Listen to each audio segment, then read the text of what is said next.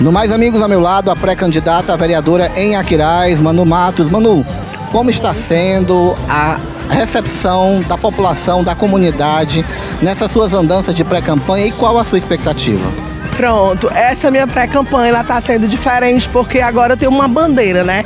Que é a do autismo e a receptividade são das famílias atípicas, porque realmente agora elas sabem que tem quem cuide delas. Então nós estamos focando na inclusão, que foi o que a gente trabalhou nesses três anos e meio, acolher e cuidar das pessoas com atipicidade.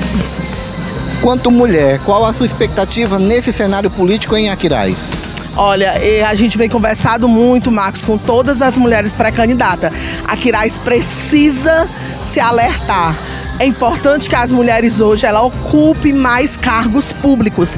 A mulher ela é mais afetiva, a mulher é mais sensitiva, ela tem experiências diferentes para trazer.